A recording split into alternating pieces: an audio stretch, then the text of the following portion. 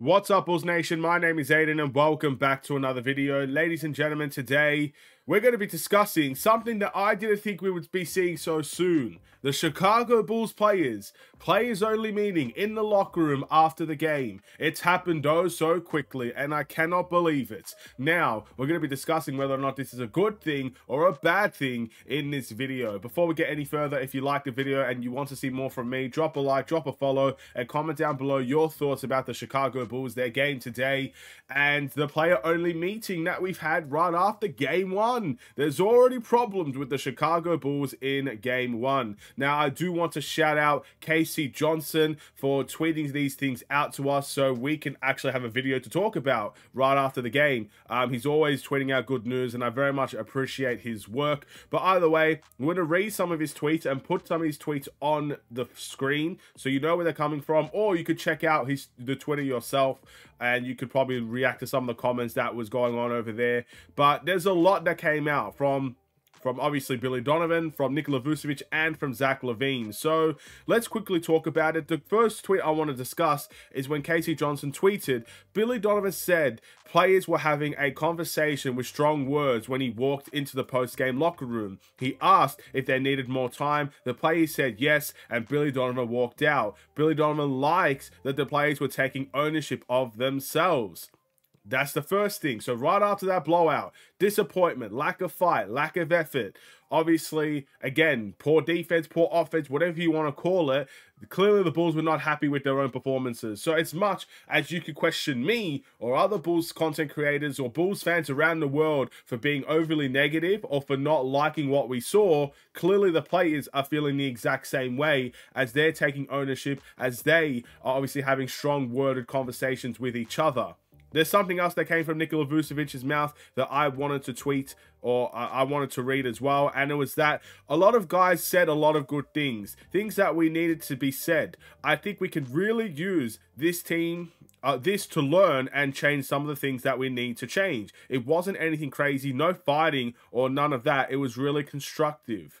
Um, it was maybe one of the first times since I've been here that it was like this, and it was really needed. First and foremost, you're telling me throughout all of last season you didn't have a conversation like you did at the very beginning of this season? To me, that is just poor on multiple levels. Again, I think there's always a time for a player meeting. I think there's always a time for a conversation to be had, especially when you're playing as poorly as you did in this very game. And the fact that there was no conversations last year makes me very much more angry about last year. But thankfully, last year's done. It's gone. We we can't reflect last year. We have to move forward. But the fact that nothing happened there is quite frustrating. But again, first game of the season and they're having conversations like this. Last but not least, Zach LaVine said something that I wanted to read out. Again, a K.C. Johnson tweet here. I don't feel like we played with enough heart, and that's on us. It's unacceptable. I don't think it's a thing people do on purpose either, but we got to come together during those opponent runs. There you go. Those are all the tweets I wanted to bring to you guys from K.C. Johnson discussing this player, I guess, meeting after the game and there's a lot to dive into there. Obviously, this is the first type of meeting that they've had where it felt strong minded and that it was constructive and that people were taking ownership.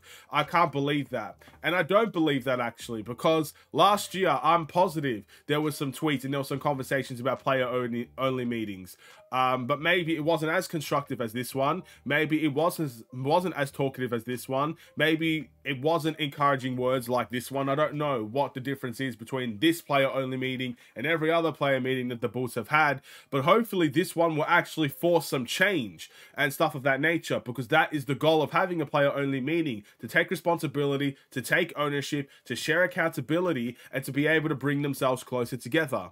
If that's not the purpose of a player meeting, then there should never be a player meeting. A player meeting should not just be, it's your fault, look what you did, it's all you, you're the reason why we're failing. That's not what a purpose of a player meeting should be. Everybody should be taking accountability and sharing that accountability. So I'm hoping that's what we saw. I'm hoping that's what happened. And we'll have to see. Deep down the line, we'll have to see whether or not this player meeting will actually result to anything.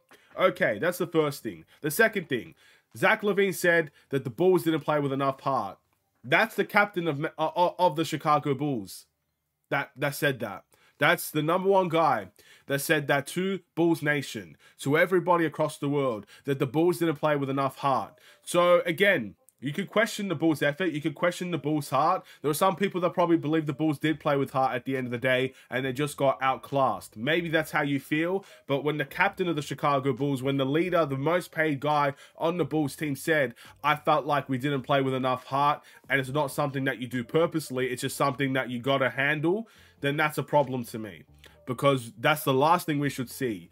Again, I said it in the last video. I said it in the game reaction if you can't fight, if you can't play with heart toward game one of the season, at the very beginning of the season, how can anyone expect you to play with heart at the very end of the season? Game 82, probably when that game means the most. A situation where you could avoid the play-in or make the play-in. A situation where you could enter the play-in or be out of the playoffs completely. Or a situation where you could get home court advantage or you fall into 5th, 6th, 7th in the Eastern Conference.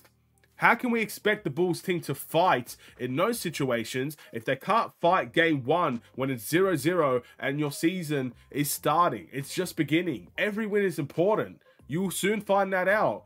This game is frustrating, even at game one, because it does mean a lot. And it has massive ramifications losing this type of game.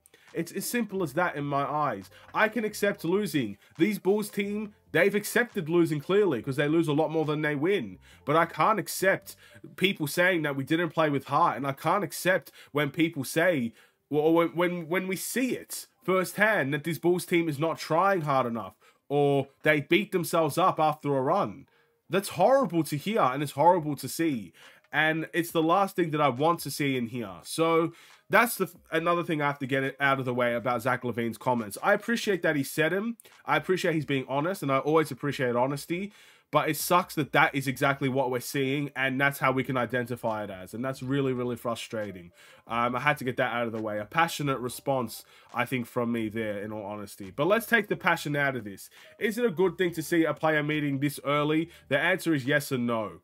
Yes, it's it's important because look, there's clearly some kinks we need to figure out. And I don't think you're going to figure it out by being silent. Torrey Craig said something very early on in preseason, and I think he even said it in preseason as well during it, that this Bulls team is very quiet and they need to talk more. This is them talking. Let them talk. That's fine. That's the positive of this again, you got to sort these things out. And sometimes player communication is the only way it's going to get done. Taking accountability. There's a lot of young guys that I feel like are very quiet and won't say much in this Bulls team. So these leaders, these veteran players, these guys that do have the capability to speak their mind, it needs to lead the conversation. And I think that's a good thing. So yes, it's good in that avenue. It's bad because this is game one.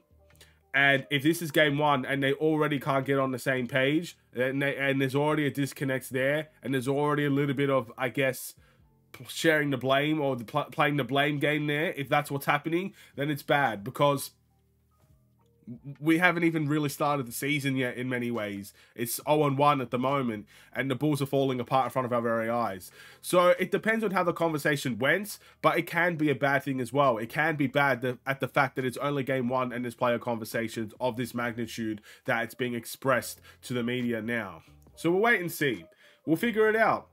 And last, before I send you off in this very interesting video, I would say, actions speak louder than words them having words after the game is great, but their actions don't reflect words their actions of how angry they were were not reflected in that game against OKC. They did not show the fiery passion that they showed after the game. So how can we expect those actions to reflect in the next game against Toronto? If these are the conversations that they're having, they better be backed up with action. So we'll wait and see how we respond against Toronto. Will we have the actions necessary to back up those confrontations in the locker room? Or will we still be that Bulls team that is scared or gives up on themselves before the game really even kicks on.